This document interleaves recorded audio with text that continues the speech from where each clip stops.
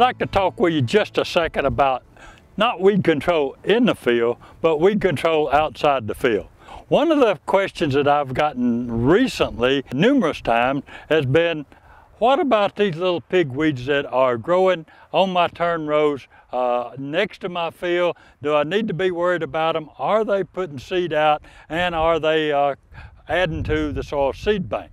Technique that I would suggest here would be to come in and spray these out with paraquat and then come back with a, a residual herbicide as we plant our soybean. Uh, any of our residual herbicides that we use, such as Valor, Prefix, etc., are very satisfactory for use here on the turn row.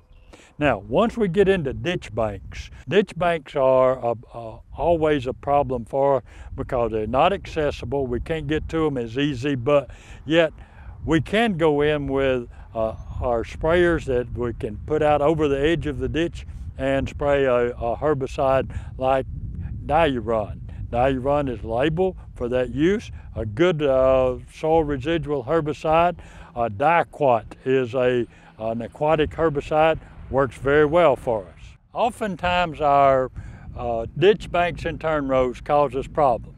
We do have good programs for that, and our farmers that are in our zero tolerance program are doing an excellent job of managing their weeds on their ditch banks and turn rows. Your Arkansas Soybean Podcast is a production of the University of Arkansas System Division of Agriculture and was funded in part by the Arkansas Soybean Promotion Board. For more information on soybean farming in Arkansas, contact your local county extension office.